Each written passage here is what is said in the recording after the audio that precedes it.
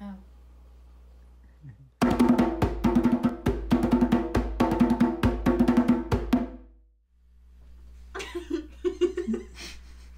Hey guys, so what we have here is a one gallon aquarium because I'm gonna start putting fish in one gallons. No, no, I'm just kidding. This is actually Zach's one gallon aquarium that he gave to me, not because he wants me to have a one gallon in the shape of a diamond, but because he has given me back the bristlenose pleco, the bristlenose pleco. I'm gonna show you guys a video here, and this is the video of when I first got this guy he was so small. I actually got him from somebody who was breeding them because it's hard not to breed these guys. They breed so easily in most cases. And so he had a little baby bristlenose, and I picked him up, and I was hoping he was a male. I was hoping I would have this guy for a long time, and then he started attacking my other fish. He started attacking primarily the other sucker fish. They like to have dominance of that subcategory of fish. I don't know how to group them, but he likes to be the bristlenose plecos like to be the most dominant sucker fish in an aquarium. So they will attack other ones, especially twig catfish, which were my favorite back then. And so he had to go. And where better a place than to send him to Zach and have him keep this guy in his planted aquarium. That was all about two years ago. Zach has had him for a long time. Uh, and he's been through a few phases. He's been very aggressive. He has turned out to be a male, which is what I was hoping for with these guys that grow uh, big bristles on their face for the male. So I'm hoping he has that. I didn't really get a great look at him. Um, and we're going to get a great look at him in the cinematic later on in this video. But I think he's going to look great in there because he's got that those those kind of fake branches coming out of his face as camouflage. You know, he's got he's calico, so he's got like spots and stuff like that. He looks really really cool. I hope he doesn't mess with any other fish. I'm obviously not going to have the whiptail catfish in there now.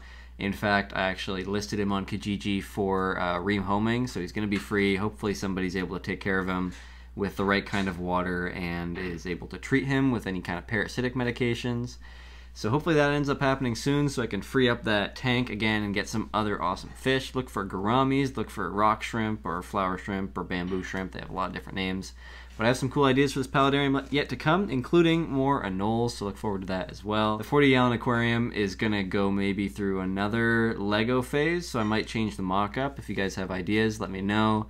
I probably won't be able to do anything submerged. I know you guys really want that, but with Lego, it just floats. So I everything would just be floating at the surface. There wouldn't even be a point to it. But if you have ideas for a dry mock setup in the aquarium, let me know, and I will probably do it. Maybe, maybe we'll see. I'd love to hear your ideas though. Quick interjection that I forgot to say while I was filming that first part. Uh, Ethan's fish I took a video of because I was there in Toronto just last weekend, and she looks pretty good. The tank looks pretty good, but eventually they are going to be upgraded to the 40 gallon aquarium after we do the Lego mock. So I just wanted to mention that real quick, and I wanted to show this awesome footage.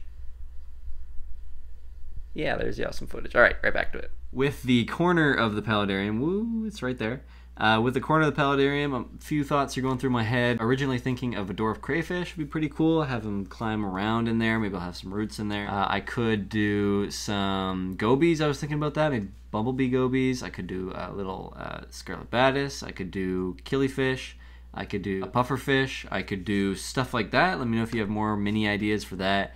That'll probably be one of the things I do next because I'm going out with Zach very soon. And last big update before we check out here and go to the cinematic of this guy. Hopefully I get some good shots of him. We are going to be probably babysitting a chameleon here at the house, which is going to be really, really cool. It's going to be up in Ethan's room, and I think he's really going to like taking care of it. It's just going to be for a few weeks. We're not keeping it long term, but that'll be a pretty cool addition to the channel. So, if you guys like the sound of that, subscribe, and hopefully you'll see it all this summer. I'm really stoked for it and I hope that you guys are too. If you like this video, or if you end up liking it at the end of the cinematic, maybe the cinematic really hits the spot for you, make sure you leave a like, and I will see you guys next Sunday.